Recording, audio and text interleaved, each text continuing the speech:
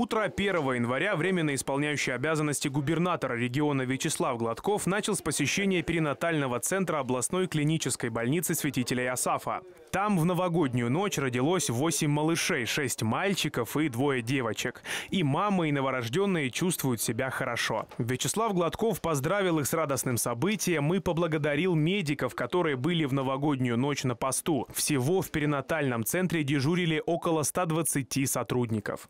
Работа – это помогать появляться на свет нашим маленьким детям. Поэтому, конечно, я не мог не приехать. Мне кажется, это абсолютно естественно для всех. И первое сказать спасибо коллективу за то, что они делают, потому что мне кажется, это не работа, это призвание.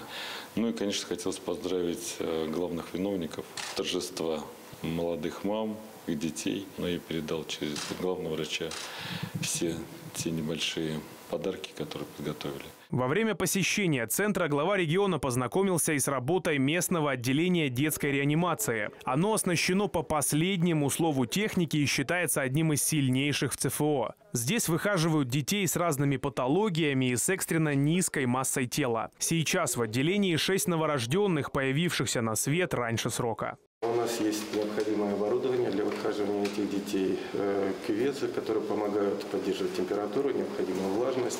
Есть дыхательная аппаратура. В этом году мы получили новые э, аппараты ИВЛ, которые помогают э, деткам не только инвазивно, но и можно выхаживать детей при помощи неинвазивной вентиляции.